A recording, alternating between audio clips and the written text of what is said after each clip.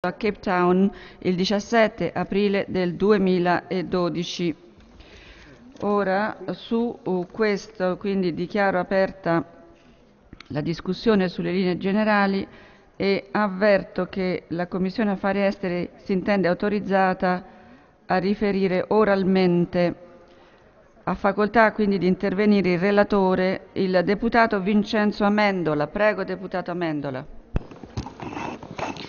Grazie Presidente, eh, onorevoli deputati. L'accordo italo-sudafricano in materia di cooperazione di polizia disciplina la collaborazione tra i due paesi per prevenire, contrastare e condurre indagini sul crimine organizzato transnazionale e sul terrorismo. L'intesa si pone come obiettivo quello di creare uno strumento giuridico per regolamentare la collaborazione di polizia sotto il profilo sia strategico che operativo, consentendo di intensificare i rapporti tra gli omologhi organismi dei due paesi. L'accordo trae spunta dall'esigenza di realizzare una cooperazione bilaterale di polizia per il contrasto del crimine organizzato transnazionale e del terrorismo, in modo da renderla più aderente alle attuali esigenze di entrambi i Paesi, in conformità a quanto previsto dai rispettivi ordinamenti giuridici, dagli obblighi internazionali, tra i quali quelli discendenti a carico dell'Italia dalla partecipazione all'Unione Europea e dalle disposizioni contenute nell'intesa stessa.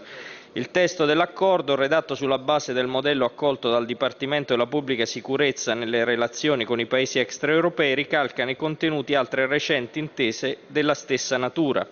L'accordo fissa in primo luogo l'obiettivo, ossia la collaborazione per prevenire, contrastare e condurre indagini sul crimine, articolo 2, e individua le autorità competenti, articolo 1 preposte all'applicazione dello stesso, che sono per il nostro Paese il Dipartimento della Pubblica Sicurezza del Ministero dell'Interno e per la Repubblica del Sudafrica il Dipartimento di Polizia. L'accordo sancisce quindi i principali settori nei quali la cooperazione di polizia si renderà operativa, in particolare il contrasto del crimine organizzato transnazionale, del traffico illegale di stupefacenti e di sostanze psicotrope e loro precursori, della tratta di esseri umani e del traffico di migranti, del traffico illegale di armi, munizioni, esplosivi, materiale nucleare radioattivo e tossico, nonché del terrorismo internazionale.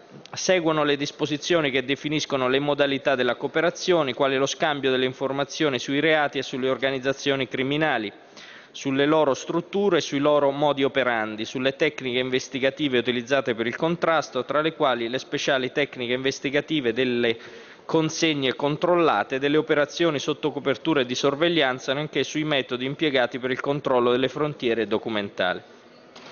Lo scambio delle informazioni riguarda altresì gli strumenti legislativi e scientifici per combattere il crimine, compresa l'analisi della minaccia criminale e la formazione di funzionari di polizia, articolo 3.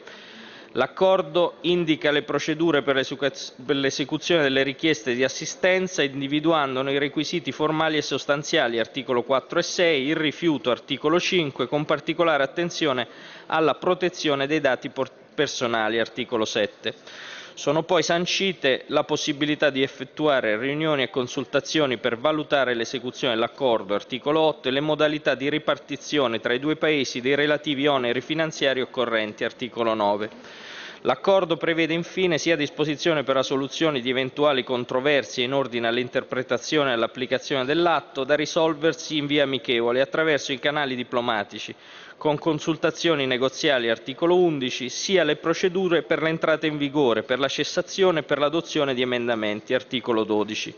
Gli oneri di attuazione dell'accordo connessi allo svolgimento di missioni e di riunioni congiunti sono valutati in euro 18.322 a decorrere dal 2014 e sono coperti mediante corrispondente riduzione dello stanziamento del fondo speciale di parte corrente iscritto ai fini del bilancio triennale 2014-2016 nell'ambito del programma Fondi di riserva e speciali della missione Fondi da ripartire dello stato di previsione del Ministero dell'Economia e delle Finanze per l'anno 2014, allo scopo parzialmente utilizzando l'accantonamento relativo al Ministero degli Affari Esteri. Grazie.